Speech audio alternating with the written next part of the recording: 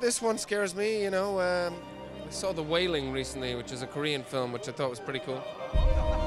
Oh no, I think westerns, musicals.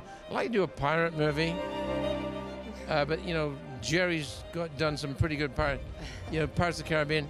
Uh, but that comedy, I like to do a, a serious pirate movie. Um, goes on.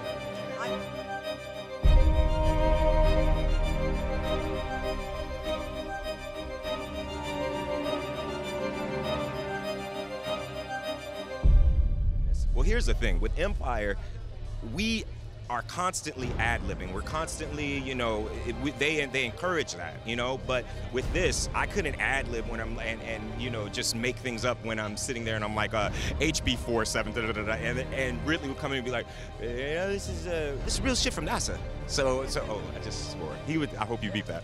Um, but he'd say that it was coming from NASA, so it was legit, it was real, and, and we had to remember that. So my mind I didn't have no drinks, nothing the night before. I was definitely practicing all of that. yeah. Uh, I think that we're just gluttons for punishment. I think human beings love to have the shit scared out of them, and this franchise does that time and time again.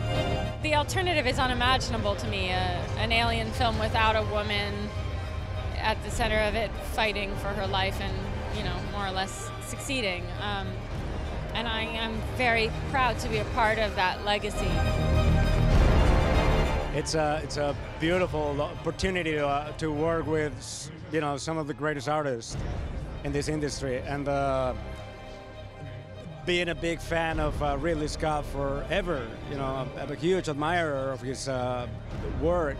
It was just an, an, honor to be able to chat with him when we met. And after that when he called me to uh, actually be a part of the uh, spaceship that was a double triple happiness uh, but I was already happy just to be able to shake his hand and tell him how much he meant, you know, for me.